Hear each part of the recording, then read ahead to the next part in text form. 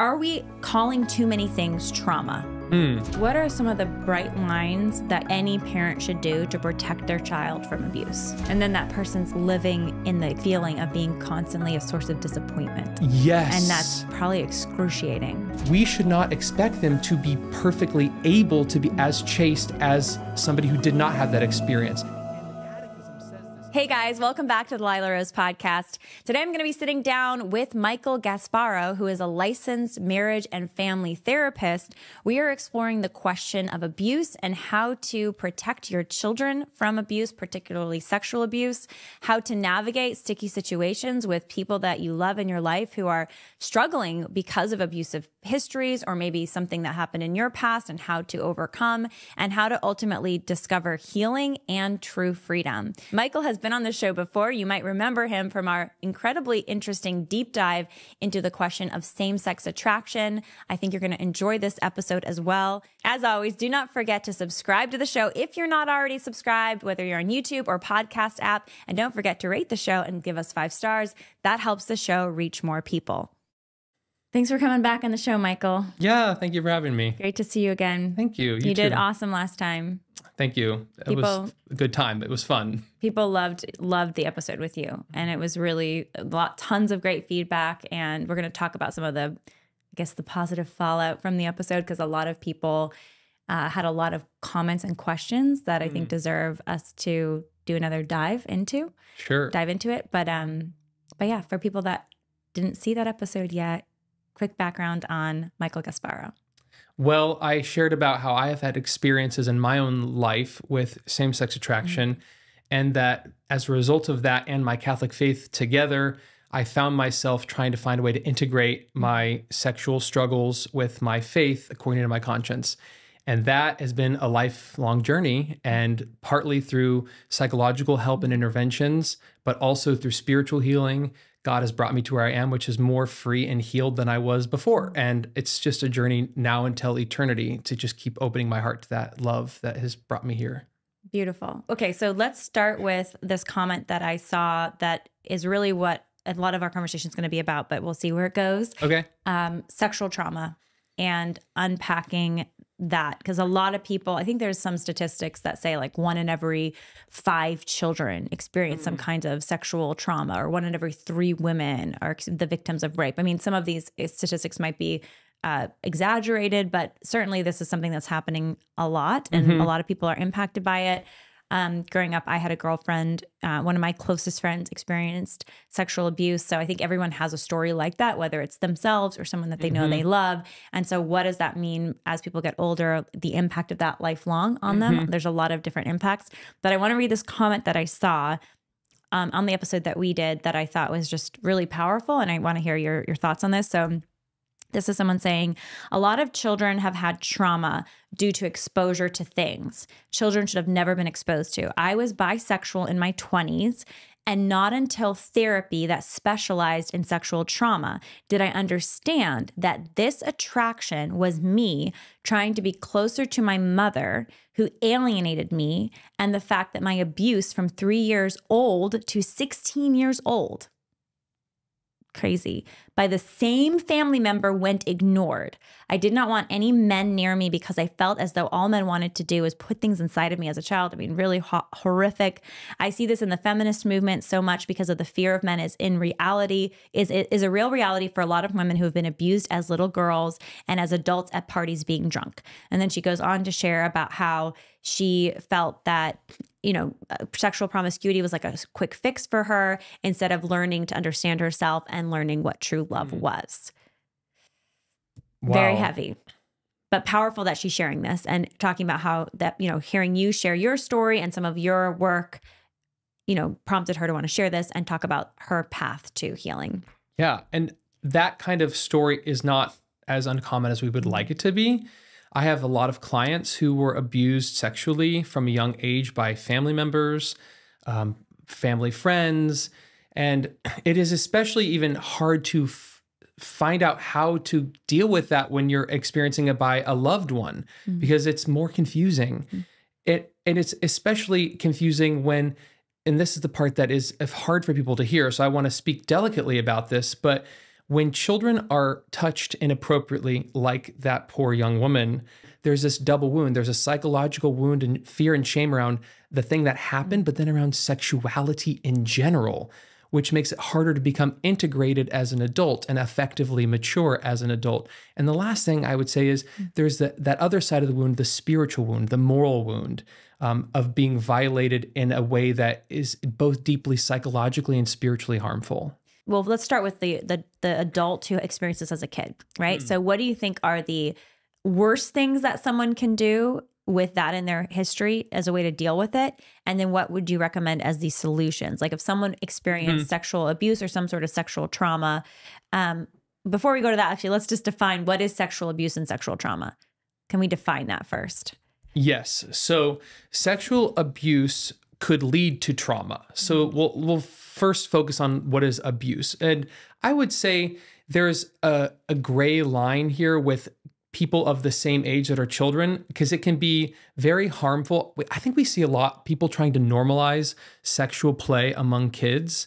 have you heard that talked about like amongst kind of progressive movements like oh that's normal and healthy for children to be touching each other and that's not true. I think it's really important that we make it clear that even if it was kind of unintentional because a child is exploring, that it's not helpful that they're doing that because it can arouse emotions within their bodies that they're not yet ready to intellectually comprehend or spiritually make sense of. Or I've seen like Planned Parenthood as an example, you know, that some of these, you know, pro unfortunately horribly abortion but also pro sexual sexuality groups in terms of let children experiment sexually. Mm-hmm. so there's this recommended sexual education about like you know self pleasure like you know it's good for kids to self pleasure or at least adolescents it's good to i mean ultimately masturbate. I mean that is unfortunately some of the prevailing sexual education mm sexual education that some of these progressive groups promote. Yeah, including in schools. Right, and that's my concern as well. And that's why I'm saying that even if you don't define it as uh, legal abuse because it's not done by an adult to a child or it's not it doesn't have to be an adult it actually be an older child to a younger child even if it's the same age children those two factors consider one that even if it's just innocent childhood experimentation that they don't understand, it can still be harmful. So we want to protect them by helping educate children that, you know, the things we talked about last time about particular boundaries to keep in mind for young children. But two, sometimes children will do things to other children that had they had done to them. And that's what we talked about last time is often called trauma reenactment. Mm-hmm. So that's why even if it's among same age children, especially before the age of reason, but even afterward in childhood, it's not beneficial, necessary, it's even harmful and unhelpful for children to be enacting sexual play of any kind. So that would be a type of abuse that is less intentional because it would be same age children. Then let's define abuse from an older child or mm. even an adult. It's essentially using a child in any way to arouse sexual mm. pleasure for the adult's sake that is abusive in in essence even if the child doesn't perceive it as abuse. But could something be sexually abusive even if it's not intended to like it's not like a, a sexual thing for the adult, but it's still involved, you know, body parts that involve like the genitals that involve sex and there's some kind of like punishment or there's some sort of de- you know being degrading of that child because i think i mean i was reading a, a, story recently of a young woman who talked about how she was the way she was uh, disciplined by her mm. parents involved like spanking on the bare bottom and that had the effect for her that had trauma associated with sex for her because mm. they're you know treating that part of her body in this ultimately disrespectful way I think that makes sense. Yeah. So there are nuances to how uh, types of harmful parenting, harmful disciplinary styles that are ab- abusive, even if they're not directly sexual, can result in sexual wounds in adulthood. But sexual abuse specifically is more target is as defined by more a targeting of a child for sexual pleasure for the mm-hmm. adult's sake. And the kind of reason I'm offering that definition with a little bit more a broad scope is because if a if an adult doesn't even touch a child, but they give a lascivious look and they're kind of lusting in their mm-hmm. in, in their evil heart towards that child, and a child perceives that, that's abusive even if there was never any physical contact. Mm-hmm. So we have to broaden it a bit beyond just physical touching or physical stimulation to what is an adult's intention in their heart towards a child and then of course any subsequent actions and is it a pure intention of love towards a child for the child's own sake or is it to arouse some sexual Mm. pleasure within themselves at the expense of a child's innocence What are some of the bright lines that you think any parent should do to protect their child from abuse?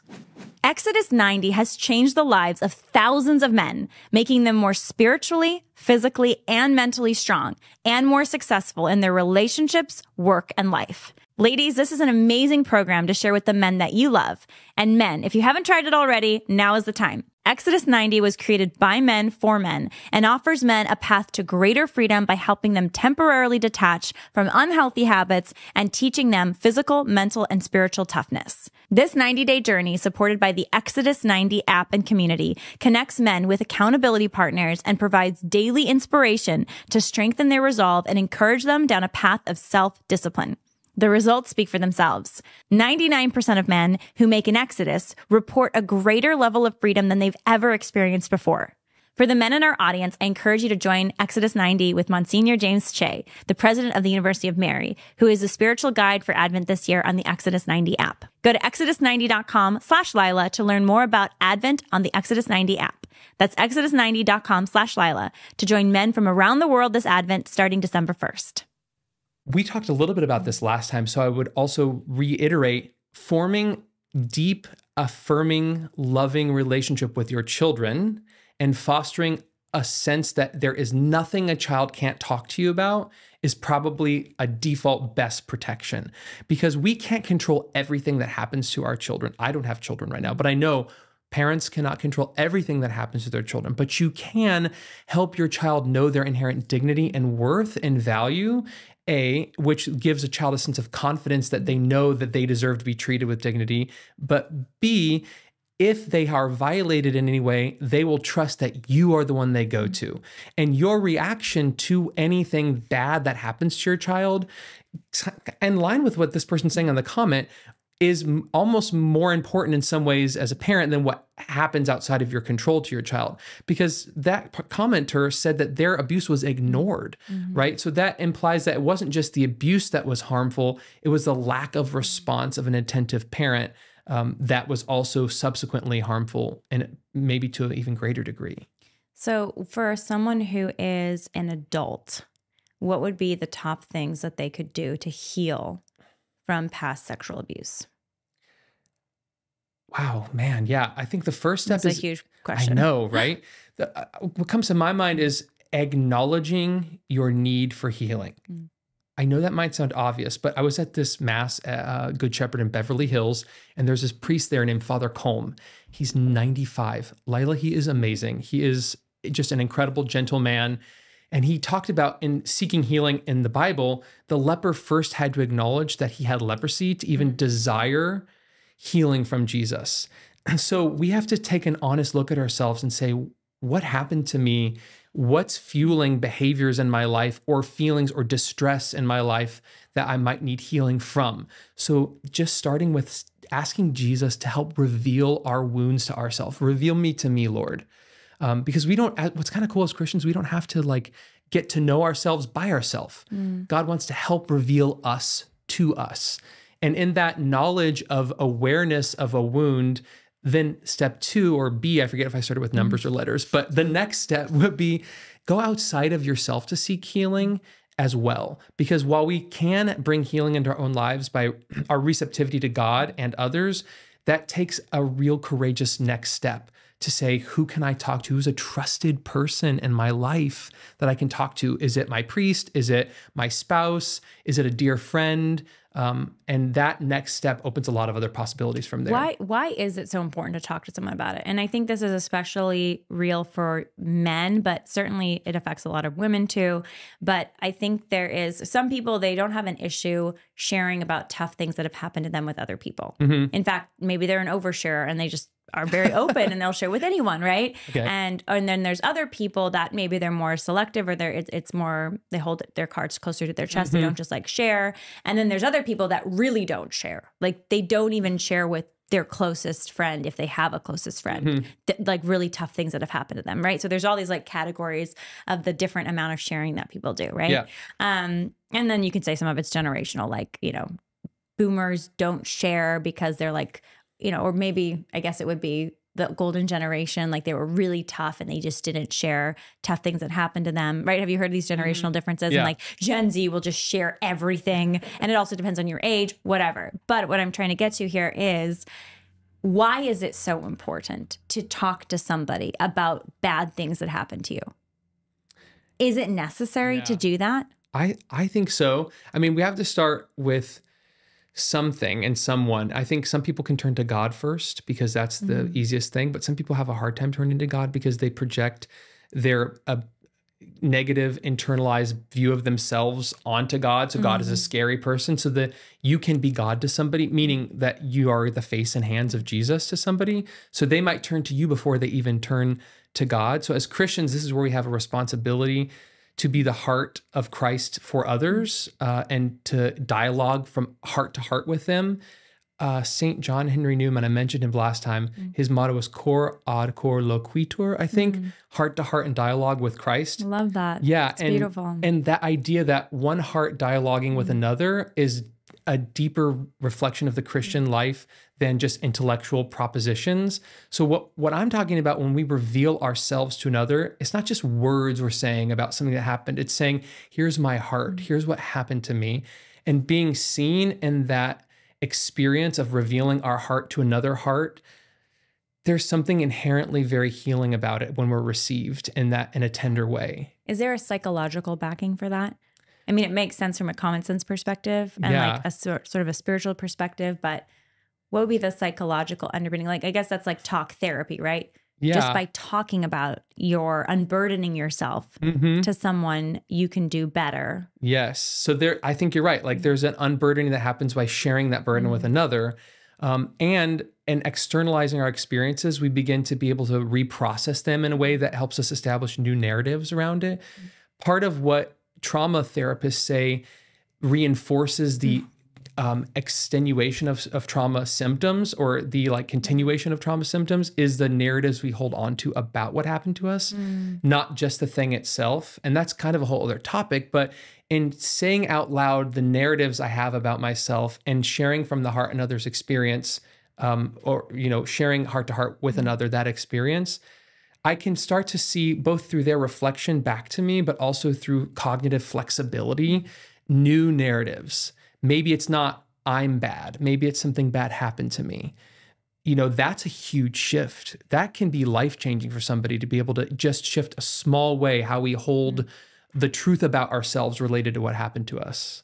So, uh, back to kind of this idea of sharing with somebody else, because I, I, I think have you have you seen Abigail Shrier's book Bad Therapy? Have you heard of that book? I've heard of the book. Yeah, I have not read it yet, but I'm familiar with the, the theories. So her it. whole theory, I've I was listening to it on tape. It's kind of been I've tried. I have like ten books I'm reading at any given like week at the same time or listening to. But anyways, her whole thing, as I as I know you know, is that there's too much therapy. We've sort of um patholog patholog patho- pathologized. Thank you. We've pathologized everything.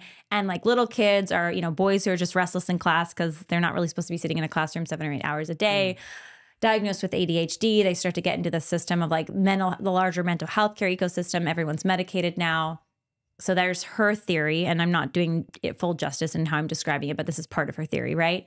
We had Catherine Pakaluk on the show recently, and she was talking about how um, in her surveying of women who've had really big families, she discovered that there were all of these, uh, and she's a PhD economist who writes about like the birth dearth, the decline in Mhm. birth um, rates, and then how there's these families having a lot of kids. Anyways, she found that families that had a lot of kids reported better ability ability resilience for the older kids to deal with tough stuff because there were younger kids in the house Mm. meaning babies actually well, there's stressors associated with the baby they also bring this positive experience to those around them new meaning new life getting yourself outside of yourself and they actually helped mental health outcomes for the family Oh wow. which is sort of what is against the common knowledge today. The common knowledge today is that babies are stressful and tough, and you shouldn't have them if you're in a tough spot. And her research is showing actually babies help us uh, in this incredible way, like rise above and like get outside of ourselves. Anyways, I'm, where I'm going with all of this is are we calling too many things trauma? Hmm. and needing this sort of psychological solution via therapy uh, too much? Is that part of our problem today? Or is it just that we need more intimate friends and family relationships that get us outside of ourselves and are safe Mm. places for us to share our burdens? Did you know that every year 200,000 families go bankrupt from medical bills, even with health insurance? For many people, insurance is simply not working for them. That's why I'm excited to share with you about Crowd Health, which is an alternative model for paying for your health care. Crowd Health takes your bills, personally negotiates them on your behalf, and then sends out a request to the community to help cover your bills. The Crowd Health community has fully funded more than 5,000 medical bills over the last two years. This includes accidents like a young woman in Tennessee who lost her fingers in a boating accident, to NICU babies and cancer cases. Keep in mind, Crowd Health is not the same thing as insurance, but it is an alternative model to help pay medical bills and keep your monthly costs low. So go to Join Crowd Health today. Use the code Lila at checkout to get your first three months for only $99. That's joincrowdhealth.com and use the code Lila at checkout to get your first three months for only $99. Joincrowdhealth.com. I think it could be both um, in the sense that there are real times where a person trained to understand the mm-hmm. particular aspects of sexual abuse that may impact somebody's development and even be influencing their current behaviors can be a really helpful tool, especially if that person is sensitive to the body soul unity of the human person and respectful of the need for spiritual and psychological healing and does not see therapy as an ends in itself, but as a mm-hmm. means towards continuing to bring God's healing into your life. Um, particularly because then they can, a therapist may be able to foster you to also building and support resources outside of therapy. Uh, but I think that in terms of talking, having a therapeutic effect, talking with a dear friend and revealing your wound to a loved one is therapeutic, whether or not you want to call it professional therapy. Uh, and so, in that sense, I agree with you. We we don't need to worry about over pathologizing sexual trauma because that, in particular mm-hmm. to our topic today, if anything, we need to be more clear about how much can be traumatic in that mm-hmm. field. So, for instance, broadening our definition to counter, like you said, Planned mm-hmm. Parenthood's ridiculous sexual education model, exposure to pornography is traumatic for children.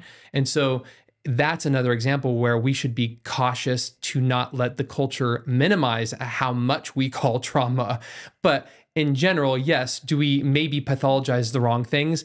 At times, but that is if we have a bad idea of the human person. Hmm. So, if we have an anchored view of the human person in Christian anthropology as made in God's image and likeness with inherent dignity, male or female, beloved by God, infinitely loved, and basically a helpless child before God, we get that right that we need God, He created us, and we are called to love Him in return and love our neighbor as ourselves. We won't call the wrong things trauma, I think, in that case.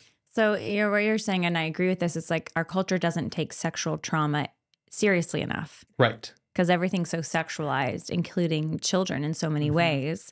And so that's not serious, taken seriously enough. Maybe there's other kind of aspects of human behavior that are over pathologized, Mhm. but we're not, when it comes to sexual trauma, that's not, that's not it. Right. And I, and to be fair to Abigail Shrier, she's not talking about sexual Right. trauma in her book. She's more talking about behavioral stuff Right. uh, that ends up having big uh, impacts on kids. Although, you know, maybe some of it's rooted in sexual trauma that's not diagnosed. Who knows, right? Right. How, what are the statistics on sexual trauma? Do we know? I know I said at the beginning some statistics, but Um, I don't know if those are correct. I think it is varied between studies and how they define what sexual trauma is. I think it's reasonable. Let's just talk about reasonable assumptions. Think about anecdotally the mm-hmm. people in your life who you know in your circles. How common is exposure to pornography at an early age? Mm. And I have seen studies quoted the average age of exposure for most children is 8 to 11 years old. I can't say that that's true for everybody. And I think we could all And just would you say that's all a trauma? Sorry to interrupt, but is no, every time ex- you exposure to oh you, can sorry, it be a trauma? To be exposed to pornography. I think it's almost always going to be traumatic. If they're especially that age range 8 to 11 years old and they have not been educated on love and life from their parents and then they're exposed to graphic sexual images that's confusing and it's scary. And it might also be exciting because children are naturally inclined to be aroused like adults are. We are aroused by beauty and images of good but they're perverse mm. images because they're exploiting individuals and so that are in those images. And so it's it's the reason it's traumatic again is because it cannot be properly integrated because there is inherently going to be shame and fear because they're not cognitively prepared for a that level of intense input sensory input and b it's not good for anyone to have that kind of input because it's not the way we're meant to be kind of uh, consuming that kind of material. You know that's not intended for uh, human flourishing that we be watching those kinds of images So, for those that have, you know, we're kind of talking about the adult who is a survivor of some sort of sexual trauma. And your point here, which is a powerful one, is like uh, maybe it's almost all adults to some degree, you know, because if it is, if it is, pornography has this impact of having, being able to traumatize or harm. And it's most people have been exposed to pornography especially men, right? I Mhm. mean, it's most boys have been exposed to pornography. I think I remember seeing a statistic, it was like over 90%. Mm. So everyone has had that, you could say, trauma. And then, of course, there's addiction that enters into the picture. Yeah, and I, I think trauma when we are experiencing something that is negative, the degree to which we react, we in the psychology world you might use a frame of reference called like an acute stressor. Mhm. And if you're exposed to an acute stressor, it's like, you know, at any age you're going to have stress responses in the body. Mm. And if those ex- responses are extreme and are prolonged, they co- become forms of post traumatic stress. And if they're long enough and severe enough, we call it post traumatic stress disorder. So often with sexual abuse, there will be PTSD. That's not uncommon. Um, to the degree that somebody has a diagnosable trauma based disorder, mm. there's a whole variety of factors that would influence that, including someone's biology, temperament, personality, age of exposure, length of the trauma. Was it repeated? Was it processed mm. soon after with their family? Was there spiritual and physical and psychological healing that they were integrated, uh, that was given to them early mm. on? So there's all these factors that would affect how does that traumatic experience impact subsequent trauma stressors and trauma responses. Um, but you know so we shouldn't you just say uniformly anyone that's exposed to a pornographic image at a young age is going to have th- this set of symptoms. But we can say it's objectively a negative thing that will have a bad impact and needs to be mitigated through parental and psychological and spiritual healing. So, yeah, so this is kind of back to our definition of trauma, right? And what you're saying is it, it, just because something is a trauma or has the potential to be a trauma doesn't mean that that person is traumatized. Yeah, especially to, the degree, like it's Yeah. going to differ per person based on what happened to them. So for people that are dealing with, you know, some sort of early childhood or childhood sexual exposure, Mhm. or so there's exposure, there's sexual abuse. The exposure can have the impact of abuse. Um, back to kind of adulthood, you were kind of walking us down a road of things that someone could do and unearthing that. You Mm. talked about uh, making sure that they talk to someone about it, and that can open the door to healing. What are some other core steps that you recommend for healing from sexual trauma or sexual Mhm. exposure? Man, I, I think it's before I even give an answer specifically, I think we need to start with injecting hope here because God loves us so much and He is for us more than we are for ourselves. And I've spent a lot of my adult life asking God to help me see that, um, that He is more for me than I am for myself. And what's so harmful about sexual trauma is that it happens within our own body. And so then it's sort of like this confusing double double wound. Uh, There's the spiritual and psychological wound that I mentioned earlier, but then there's also the mental gymnastics we have to go through to like make sense of am I lovable before God because of feeling so often sullied by this experience, if that even is fully conscious. Sometimes that belief is sort of pre conscious, not fully conscious. So it expresses itself in the way we seek affirmation and healing in all the wrong places. For instance, you know, don't seek affirmation in bed, as you know is probably aptly stated by uh, especially Dr. Conrad Baars, who writes a lot about feeling and healing your emotions after things like this and in general. So I think hope. I don't know why it's on my heart, Lila, but like before we even talk about anything else, it's our hope is in God, and nothing we do or had done to us can take away that inherent dignity that is in imbued uh, by our Creator on our very self. I love that. Yeah. Yeah. I, I mean, I can't think, I don't think that can be overstated, especially it's such a heavy topic. And we just like kind of went right into it. Yeah. Yeah. Yeah. And it's so, it's also hopeful that God is the God of all healing and that even in this life, we may not experience perfect healing. Mhm. I think it's so important. What's so cool about being Christians is that we can speak about traumas with an eternal perspective. Mhm. And in the Bible, it says, we do not grieve as those who have no hope. And our hope is in something bigger than this life only. So, with the comments you read, Mhm. people might be like, well, how am I, what hope is there for me if I've lived through 20 years of abuse? Well, one, God wants us to bring earth, uh, kingdom of heaven on earth as it is in heaven. So we do want to bring wherever we can God's healing love and light through psychological and spiritual intervention and support. But whatever wounds remain in this life will be healed perfectly in the next with the Lord if we go to be with God for all eternity. And I can't think of anything more hopeful than that. So I just think we have to keep that in focus as Christians that we grieve. We do grieve. So abuse is a, a, trauma that needs to be grieved, but we have to remember that we are allowed to help people grieve with hope. And He is the Father of all consolations. And those of us who have been consoled by His mercy through Jesus Christ are called to share that consolation with others. What is the, um, like if you have someone come to you, and I know you've had this in your practice, but they Mhm. have, they're trying to heal from sexual trauma. You know, we talked about talking to someone about it as a first step. Yep.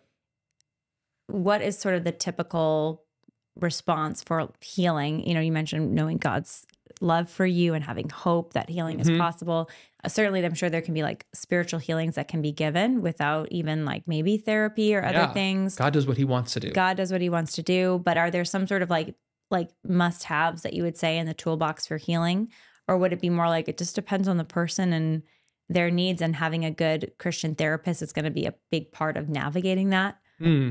EveryLife.com is America's fastest growing baby diaper and wipes company. I love EveryLife because this is a premium product made from the best materials for your little one. And EveryLife.com is a pro-life company. When you go to EveryLife.com slash join, you can join the Changing Lives Club. This way you can set up a subscription to get your diapers and your wipes, these premium products delivered right to your door for your little one. And after three months of the subscription, you will be able to donate for free a month's supply of diapers to a mom and a baby in need. So what are you waiting for? Go to everylife.com slash join. Join the Changing Lives Club. Use the code LILA at checkout. Get 10% off your order, start your subscription, and after three months, you can donate a full month's supply of diapers to a mom and a baby in need. I think it's often both and in this conversation. So the thing that comes to my mind is as a therapist trained to help people with these issues and have lived having lived through some similar experiences to what we're talking about today, I found healing in my own life through therapy, through psychological interventions. We mentioned eye movement desensitization and reprocessing. It's an evidence-based trauma treatment. And it uses both cognitive therapy, meaning changing our schematics, our, our thoughts and our stories to help impact our emotions and our behaviors, but it uses also behavioral therapy, which means an exposure. We remember the thing that happened, it exposes us to that thing. So it uses cognitive therapy, behavioral therapy, and this cool thing called bilateral stimulation of the brain through eye movement or through tapping or through sounds. Is that the kind of like hip, almost it feels hypnotic, but it's not? Yeah, I can. They sometimes they use uh, eye movements that you right to left, but it's all client directed, self led. It's not actual hypnosis. The client always remains fully in control of their faculties, but it's meant to and intended to keep right hemisphere and left hemisphere both online and engaged while reflecting cognitively on what happened to you and exposing yourself behaviorally to the memory and that helps shape the narrative differently and they believe it even supports through this bilateral stimulation of the brain it somehow speeds the process up of helping the brain relegate that trauma memory to long-term memory storage. So that post-traumatic stress which is where the memory feels like it's still currently happening it's sort of fresh in the front of our minds now it's that that thing that happened to me, not the thing that is still happening. It helps shut down the amygdala response, which is the, our lizard brain, the fight or flight reaction in the brain, and keep more online the prefrontal cortex, mm. which is the part of our brain that has higher uh, cognitive reasoning mm. faculties. Do you want me to expand on that at all, or Yeah, please do. Yeah. Well, so when when someone comes to therapy, that's one example mm-hmm. of in the psychological world a common evidence-based trauma reprocessing technique that is a psychological intervention using the brain's natural healing capacities, but it's done in the presence ideally of a loving other who sees you. Now you've revealed heart to heart what's happening, but also we're employing these natural faculties that the brain can do to help heal itself.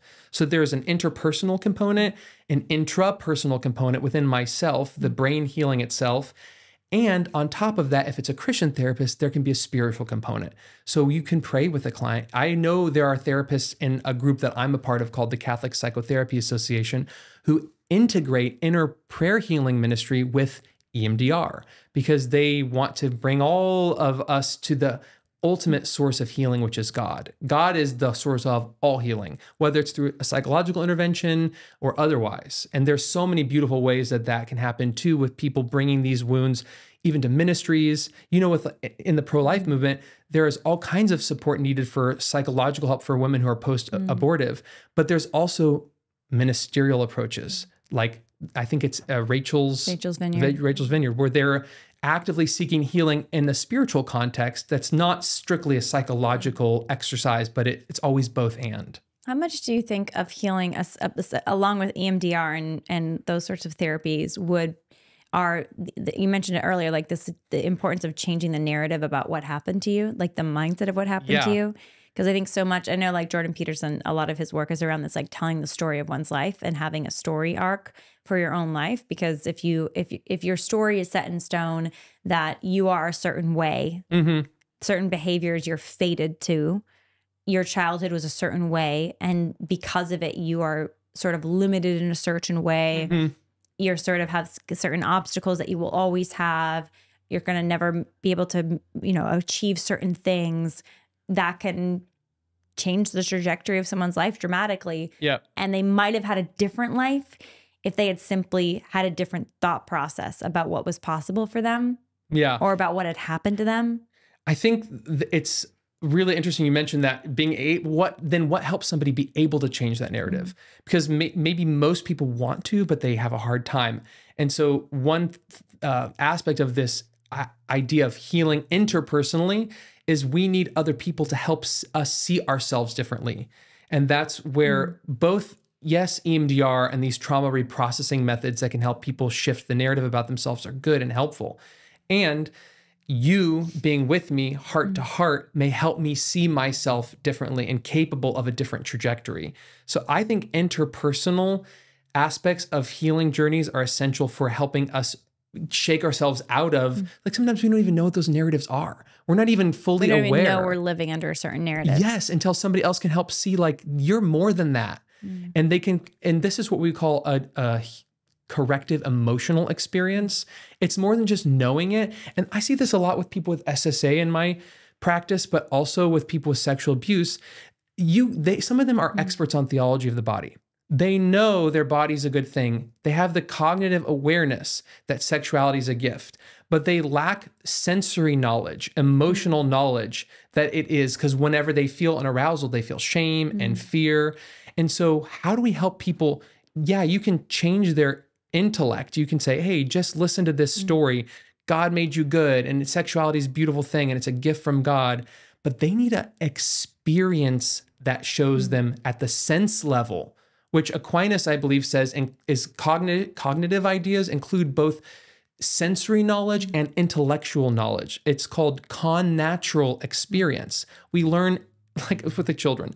If you have a child and you tell them the stove is hot, they like believe you that the stove's hot, but they don't really know that the stove's hot until unfortunately they touch the stove and then it's hot and then ah now they have sense knowledge. Of course I'm thinking like how does this work though with sexual trauma because it's not like you you know you can be you can have you can experience sexual trauma and still experience healing without having sex right like right. consensual sex. And there is this you know unfortunately there is again the kind of prevailing notion amongst amongst progressives who are very uh to see sex in a certain way that I don't think is grounded in Christian anthropology, mm-hmm. but they say, well, you need to just have con- that's the argument for you go and have consensual sex, mm-hmm. have pleasurable experiences, do self pleasure to make sex not shameful and to make sex feel good. people need to have be it, it- with sexual trauma. So we're talking about a particular subgroup of people. So just to be clear, if somebody has this negative experiential knowledge of their own body and of sexuality due to abuse or exposure, etc., that sense knowledge that my body is good, sexuality is a gift, and arousal, by the way, is not a sin. Mm-hmm. Arousal itself is just a, a reaction. It's just a pleasure reaction in the body. And this is where we can unpack the idea of what are emotions, what are feelings, how do they relate to the Christian life. But before we go into all of that, pleasure is just a reaction to to sensory and moral goods. It's not a sin. It's not it's an emotion. It's not in the realm of sin. Sin exists in the realm of the will with intent and action. So, when a child has been exposed or been harmed in a way that makes them perceive that arousal itself is the problem, that needs to be corrected at a cognitive level so we kind of provide new education but there does need to be a sensory experiential knowledge that it's not sinful to feel aroused. And even a friend of mine dr libby reichart who's the dean of academics at st john seminary she told me she tells the priests in her seminary uh, her seminarians in her class she's an expert on aquinas and she says sexual arousal is not a sin. It's just a reaction. So then yeah okay so what do we do? Do we do the freudian thing and say just go have sex with as many people as possible to get rid of your shame no but this is where healing from sexual abuse we also need to be as christians very patient with people knowing that as they unearth and begin to feel arousal sometimes it's it's a confusing messy process for people. And can we i would dare us to try to be pastoral and accompanying people with sensitivity that they might not yet be free for morality to the degree we wish they were yet and we should not give up on them or shame them for not being where we wish they were at that time. And i'll say one last thing uh, regarding that for children some of it has to do with correcting you know let's say they're 12 years old and they mm-hmm. had this experience and they come to you and they're they're getting psychological help. Mm-hmm. No you don't need to go tell them to do sexual things to overcome mm-hmm. shame but there does need to be an awareness that children integrate their sexual feelings gradually at, in adolescence. So you should not expect your 14 year old child to be as capable of chastity and sexual integration as an adult. Mm. Not saying you endorse bad behavior and there is especially levels of harm. When a child is acting out with another child that's a level of harm that is intolerable. We we need to intervene at all at all costs mm. basically without harming our own child.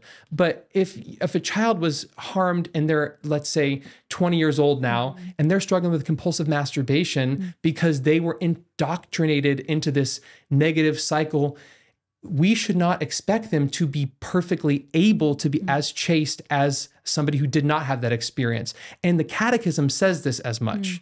The catechism says psychological issues, force of habit, psychosexual maturity, and a variety of other factors can contribute, especially with regard to masturbation, in a way that reduces mm. culpability even to a minimum. And that is not saying, it says the church has always taught in constant constant uh, tradition that it is a gravely disordered action and that it should, you know, it's it's in material sin. Masturbation. Yeah, masturbation. So it's not at all saying the church is wrong, but the church also says when there are these factors that have influenced a person's state in life, like abuse and trauma, it's the highest good is not just immediately getting them to stop compulsive behaviors. We have to have a bigger bigger picture.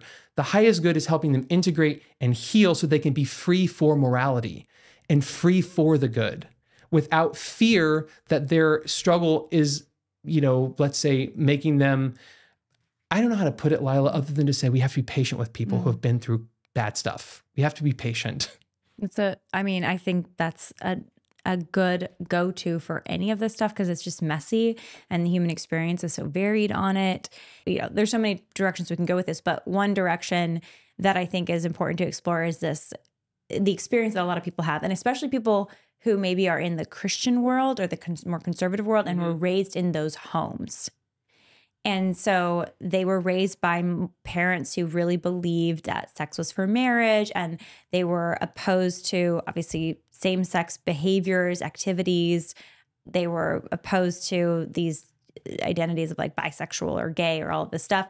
And so the parents were, uh, or the teachers or the people in the in the system that they grew up in, the systems they grew up in, there was a sense that some of these people feel of shame Mhm. about sexual behavior or activities. And so they reject those fundamentalist upbringings. They see them as fundamentalist and they're moving on to feel more free and sexually liberated by just living the way that they feel Yeah. drawn. You see Mhm. what I'm talking about? Yep. So, and I think there's something real there that there is real, there is harm that is done by Yep. some families, whether it's intentional or not, probably unintentional, where sex is seen as so taboo. Yes. And there's not this more, I think, open view of, yes, life is messy. Like the truth is the truth. God's plan for sex is still God's plan, but in the messy experience of human life and and traumas and hurts that people may have, stuff happens, and how to navigate that stuff yep. in the messiness of life can make or break a person's self-perceptive perception to some degree as a kid. Yeah. I, I- that- that's kind of yes, long-winded, no, but I no, think you I'm- know where I'm, I'm- going with that. So Yeah, I am. And Yeah. I, I'm one of the things that come to my mind when you say that is the idea of the law of gradualness, not gradualness of law. And to explain a bit further, what I mean is we are allowed to learn. God gives us permission to learn through trial and error and trial and success. That's how children learn. We're not expected to be perfect in this life, mm. much less in childhood. And gradualness of law would imply like the latter of what you mentioned about just saying none of it really matters, sort of resigning yourself to mediocrity. Mm. It's not really important. And the paradox in the spiritual life and for families to consider for their children is we have to accept exactly where we are at whatever stage we we are in every way. That's essential to spiritual inner interior freedom. And Father Jacques Philippe talks about that. But then he also says that's not to say that you don't also then foster and accept the deepest desire for the highest happiness of your life, which is God. And so we ascend to that. We we long for greatness in our lives. We long we long for greatness. I do. I long for it. But God gave us that longing, and so that will give us the energy to ascend to the heights of holiness, while also paradoxically saying, "Okay, but here I am in my poverty hmm. right now, right here, and I am hmm. not as capable as I would like to be. But that's uh, towards freedom for morality in this area of my life, psychosexual freedom or development." and I wish I was further. And God, let you know what I love. I love the work of I can't say his name properly. It's the papal theologian hmm. right now. His name is Father Wierczek Gajicek. It's Polish, and he says part of the problem with people who have obsessive compulsive uh, sexual issues and neuroses is that they take themselves so seriously that they forget that life is full of mistakes and blunders that we all make. And par- they're not all tragic, though. We have to be able to ask Jesus, Lord, help me to. True holiness, he said, basically is our poverty coming in contact with God's grace, not in perfect behavior all the time. And that in our poverty, we can also learn to laugh at ourselves and not take ourselves so seriously. Of course, I made that mistake again. God, I'm little. Help me to love my littleness before you again, not gradualness of law, which say it doesn't matter or who cares, because we want to acknowledge that the law is true. The church's teachings are true and are for our good. But can we accept that as an example, you know, sort of narratively? I work with people who were abused as children many times.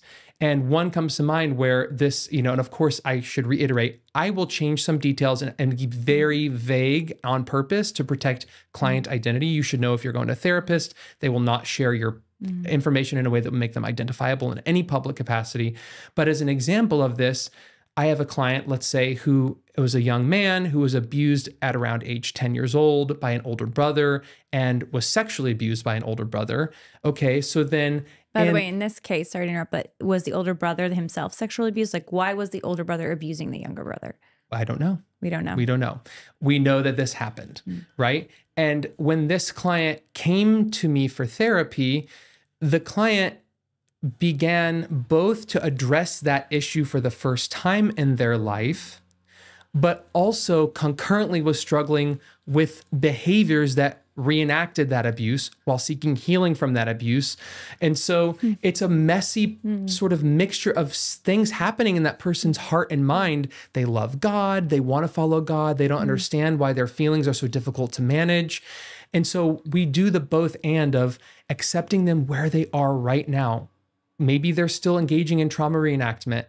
Okay, we don't send them away till they're perfect. Yeah, figure that out and then come to therapy. No, come now, come before God now, come before your family and friends and loved ones now, and let us accompany you to show you that you are not defined by what happened to you and you're capable of being experiencing God's healing love so that you can be free for the good, mm. free for morality in your life. Seven Weeks Coffee is America's pro life coffee company on a mission to fund the pro life movement, one cup of delicious coffee at a time. Why are they called Seven Weeks Coffee? Because at seven weeks, the baby is the size of a coffee bean, and it's the same time that the heartbeat can be first clearly detected on ultrasound. That's why Seven Weeks Coffee donates 10% of every sale to support pregnancy resource centers across the country. Seven Weeks Coffee is harvested from the top 1% to 2% of beans in the world. Their beans are mold free, pesticide free, shade grown, and low acid, and they're organically farmed. Seven Weeks Coffee truly checks all the boxes. And just in time for the holiday season, Seven Weeks Coffee is having their biggest promotion yet. You can enjoy exclusive discounts, free gifts with every order, and new limited edition coffees. And exclusively for my listeners, you can go to sevenweekscoffee.com and use the code LILA for up to 25% off your order.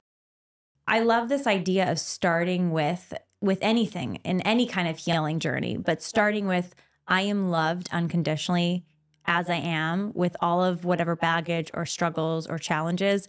And I am loved as I am with my attractions, with my wounds, with whatever it is, like that radical affirmation and acceptance of self before God. Mm-hmm. And it, it's it, any part of progress in the spiritual journey, I think, has to start with that. Mm-hmm.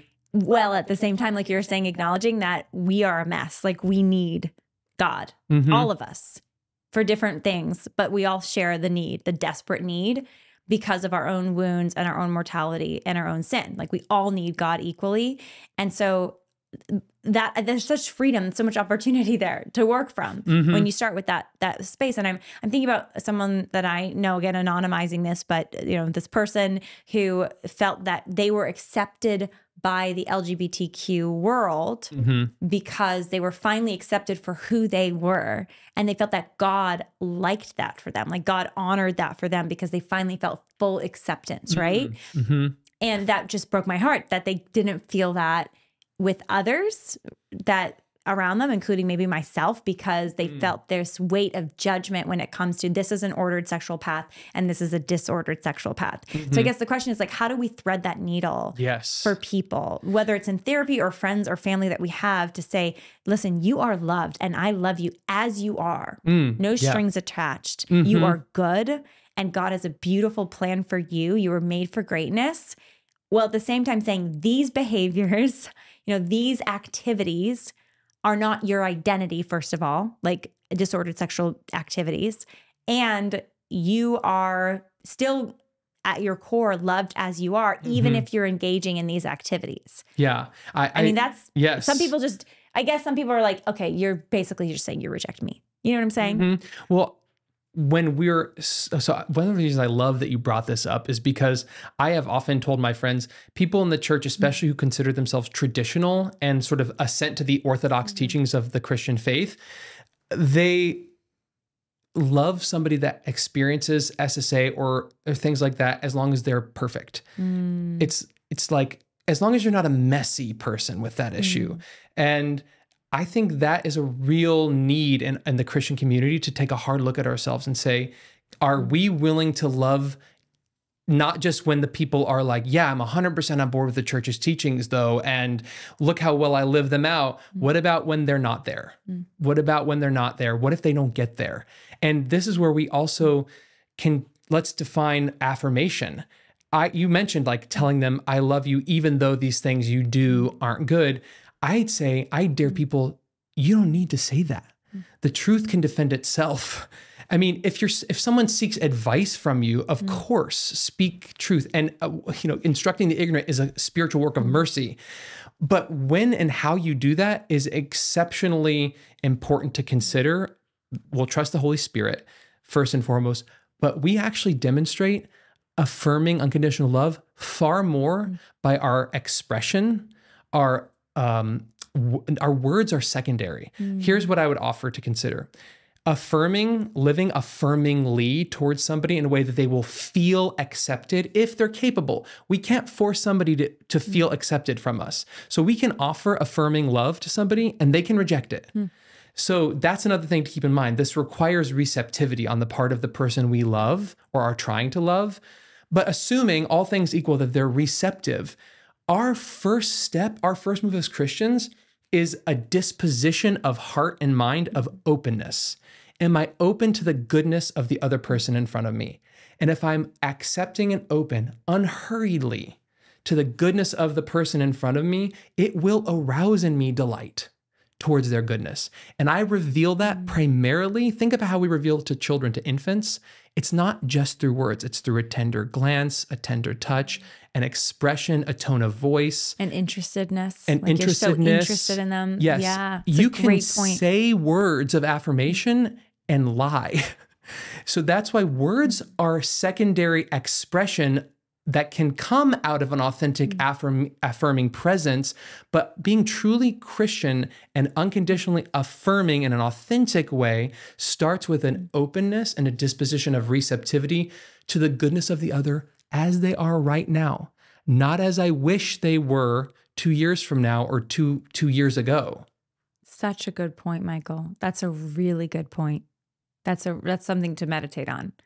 Eh, You mentioned you said the word unhurriedly, Yeah, unhurriedly. Yes. which that's a good thing to meditate on. yes. What what do you, yeah, tell me more about that. Well, to live an affirming life towards oneself first is about being open and unhurried in my disposition of heart and mind before God, before myself, and before others.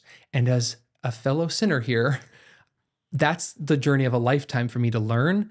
But busy hurriedness is not a default way of and and by the way, hurriedness, I don't just mean in like how fast you walk through life if I'm sitting across from you and you're someone with sexual trauma and same sex attraction and uh, the host of messiness that has emerged in your life as a result of that, if I'm hurried, it's also expecting you to be where you're not. So it's about my expectations for you, not just how sort of calm I sit before you. And then that person's like living in the feeling of being constantly a source of disappointment. Yes. And that's probably excruciating. oh my it, th- And they don't want to be Yes. around those tables anymore because they're always the disappointment. And so, and they're also like uh, rebelling against it. Like, how dare you see me as a disappointment, anyways, right? Might Yep. be the natural human response. And so they don't show up at the table anymore. Yeah. And how can we be affirming towards people we don't have a relationship with? Yeah. It's not possible. And I have a lot of Mhm. families I work with with parents over the years who have children, adult children who don't who reject the church or take on a gay identity. But I know this is beyond just the same-sex attraction issue in this conversation. It could also be imagine if you have a child who's living with their Mm. their boyfriend or girlfriend if you assume that acceptance of your child as they are right now in every way, whatever, is equivalent to approving, you will be afraid to accept them. But the church distinguishes between acceptance and approval. So this of course brings up, you know, a lot of practical questions for people because first of all there's the question of commonality, right? If someone is really uh let's say they're not already in the fold trying to do you know live their Mhm. Christian faith or they they may live be living a form of Christian faith in their view but they're not in any way in agreement about sexual morality, right? And so, and they're living their whatever lifestyle in, they're living it hardcore and it's not a Christian lifestyle, Mhm. right? So it's not like they're trying to get out of this thing, they're Right. like in it.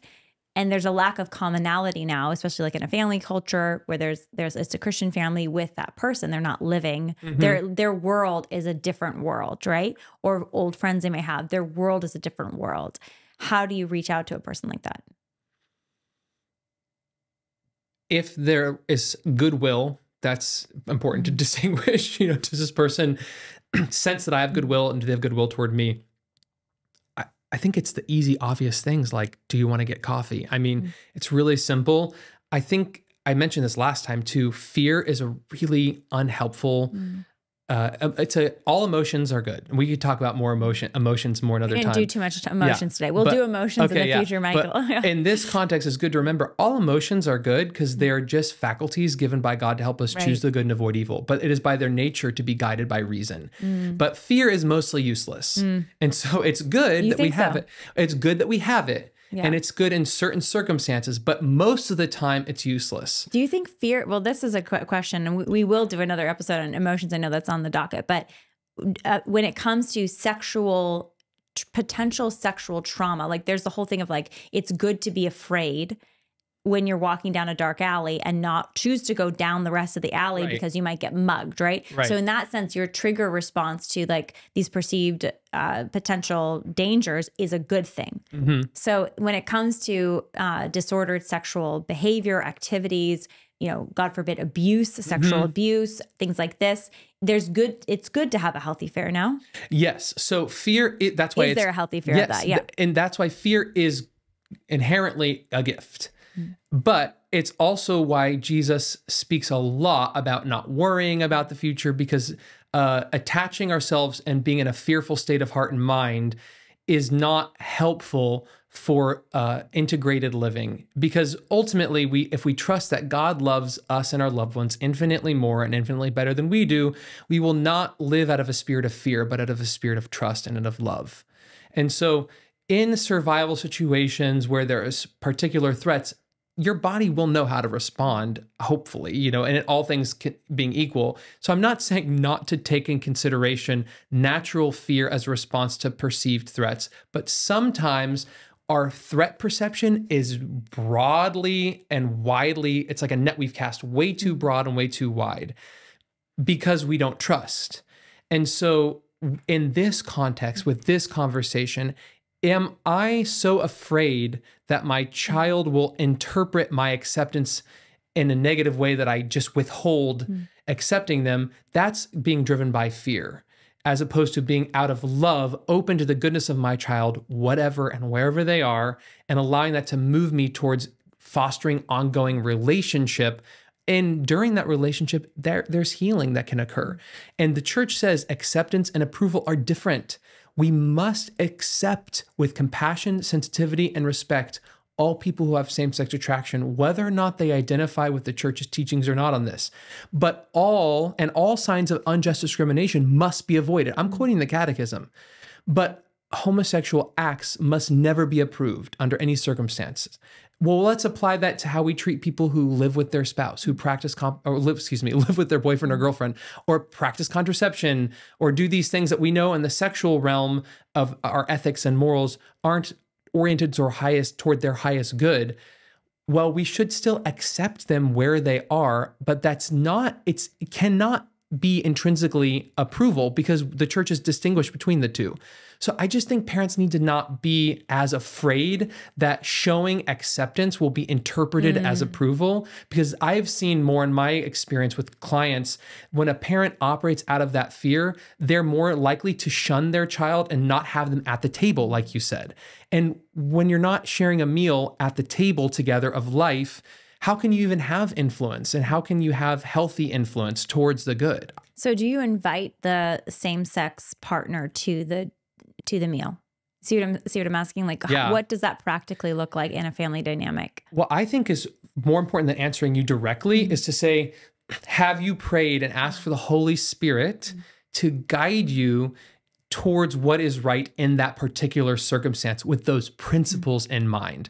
Because that's where prudence comes into play to see, to judge, and to act. So if we ask God for the grace and we turn towards Him and ask for the grace to have good uh, and act, enact prudence, the virtue of prudence, we will come to better answers than if we just on our own are like, well, I'm not going to do that because that's scary. So not a not you're saying it's it, wary of a clear prescription on that. It I really a lot yeah. of it has to do with prudence. What about like a same sex wedding though? Something that's something like that. Yeah, I think we're going sort of deeper into Yeah. that that deeply personal act of mm-hmm. prudence that you have to trust God, mm-hmm. trust your relationship with that person. I personally also think children should be considered. Mm-hmm. So instead of answering that question, I'll pose another question. What about whenever you're a, a family who one sibling identifies as trans or identifies as gay and has a same-sex partner and then you have children mm. and you're concerned you know bringing them around the family might convey a message that's confusing to your children. These are real questions that people are wrestling with and i don't have a clear prescription but i will say you'll come to a better answer if you reflect on the church's teachings mm. that that person must be accepted with compassion sensitivity and respect and that God is for you. I said this at the beginning God is more for you than you are for yourself. He is our advocate before God's self. He will give you wisdom and guidance if we seek it. And He is more for your family member than you are for them. He mm-hmm. wants their eternal salvation infinitely more than you want it for them. And if we can trust that, I just I'm convinced we'll come to better choices when we when we reflect on those principles. But I think if you have young children and you're trying to protect their innocence, then there, you can make the argument that depending on a lifestyle that someone may choose to be living, right? And it doesn't have to be even involving like homosexuality or something. It could be any number of other things. Mhm. You might want to be more careful with the exposure, how Yeah. your kids engage with that person. Yep. Not because that person's bad, not because you don't accept and love that person, but because you're trying to navigate protecting Yep. your child. And Right. these are, of course, all you know the the realm of prudence. So I know there's not like one clear prescription necessarily, but I think if it comes from that basis that you're saying of love, always love for your child, for the person, for this, for that, like it has to come from that place of love and knowing that God loves this person more than you ever will. Right. And love means to will the good of the other at the highest mm-hmm. agape form of love. And to will the good of my children would be to protect them from anything harmful. Yeah. So that's a very reasonable framework to mm-hmm. reflect on in the context of being prudential, having prudential judgment. And mm-hmm. this thing is how do I protect my children from harm? Um, so, of course, I would respect parents' rights to limit exposure to certain things. I'm just saying, if you come from a place of differentiating between acceptance and approval, mm-hmm. that accepting people as they are is not tacit endorsement for everything they do. And if you can be let that go a little bit, have a little bit more freedom, just say like it's not my job to deny every perspective they present with mm-hmm. me. The truth will defend itself. Mm-hmm. I don't have to constantly be vigilant and make sure I say the right thing at the right moment all the time can I just be open to their goodness? And there are people in my life, some of my clients, Lila, mm. that identify as gay. They do not agree with the church's teachings. And their parents, as adults, they said, Oh, well, you can go see this therapist. He's Catholic. We trust him. And it is very humbling to me just to be open to their goodness, even though they don't necessarily buy not what I have to sell. Yeah. Like they don't want it. But then they might have a corrective emotional experience that, well, this, I'm not trying to brag or make it about me, but like if I can mm. hold space, as they say in the psychology world, for this person's reality and empathize and be with them, they might have a corrective emotional experience about what a Catholic and what a Christian can be for them. Hmm. Beautiful. All right. Any other final thoughts right now on sexual abuse and healing? Well, boy, there's a lot. So, a couple come to mind right off the bat. You said earlier, what can they do? And we talked about seeking therapy and seeking help. Spiritual healing is so important. Even in my own life, I started realizing the need for specifically prayer healing ministry, the sacraments being integral to my healing journey from wounds that are similar to the things we've talked about today in my life. So, not minimizing spiritual healing. I know I said that last time, but it's so important because the psychological domain, the current therapy milieu, is very, in my opinion, dismissive of the body soul mm-hmm. reality. And so, those people who have been through things like that need, need to know that often the enemy attaches himself to our wounds in a way that keeps us stuck in them. And the Lord Jesus Christ wants us to have freedom from those attachments, however that looks. So to not minimize the need for spiritual healing and seeking that psychological support. And then the word of hope to end, always, we have we have to end with hope, always. Hmm. that I have experienced healing in my own life. Am I perfect? No. Do I still have room to grow? Of course. But I've experienced it the Lord has healed my heart. Mary has touched my heart. Hmm. Friends and family have touched my heart. I need more healing, but I'm on my journey and that I've witnessed other people on their journey and you can be on your journey of healing too. God calls us out of our wounds into adopted sonhood or daughterhood or childhood, whatever the words would be for that. And that calling into our adoption as children of God, it just has to anchor this conversation um, because healing is real and is possible. Beautiful. Thank you, Michael. You're Thanks for making your life about that. Mm, It's awesome. It's I beautiful. it. Thank you. Thanks so much for listening to this episode of the Lila Rose podcast. As always, don't forget to be subscribed if you're not already subscribed. Thanks so much, and we'll see you next time. A huge thank you to our partner, EWTN. EWTN is the largest religious network reaching millions of people with the truth of the faith, entertainment, and news. Check them out at EWTN.com.